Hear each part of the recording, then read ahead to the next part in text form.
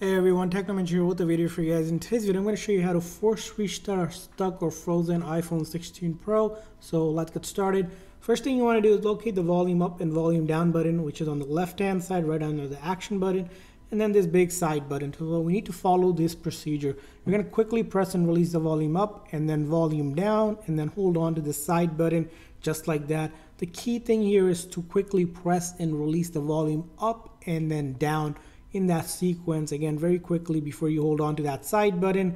And you keep on holding that side button this whole process until you see the Apple logo appear.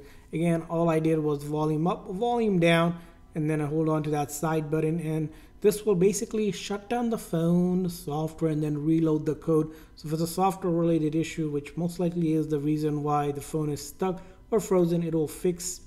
And this method will not delete any of your data and if, it, if you don't get it the very first time just keep on trying it. If it's the very first time doing a forced restart on iphone it does take some time. So just quickly press and release the volume up volume down and then hold on to that side button just like that. And you can do it as many times as you need to until your phone is fixed and it is unstuck unfrozen and you're good to go.